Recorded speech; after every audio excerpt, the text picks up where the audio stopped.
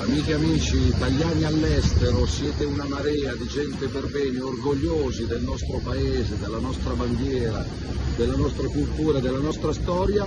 Aspettiamo anche il vostro voto, il vostro voto in tutto il mondo, in tutta Europa, Nord America, Sud America, Africa, Australia, Asia, ovunque, anche a voi spetta la libertà di scegliere chi governerà l'Italia per i prossimi anni. I candidati della Lega ci sono in tutto il mondo, liste del centrodestra, Salvini, Meloni, Berlusconi ci sono in tutto il mondo, non lasciate che siano solo i soliti di sinistra a rappresentare le città straniere nel Parlamento italiano. Guardate che spettacolo, questa è l'Italia.